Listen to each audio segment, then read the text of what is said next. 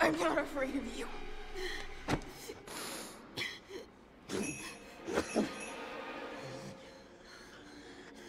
You will be.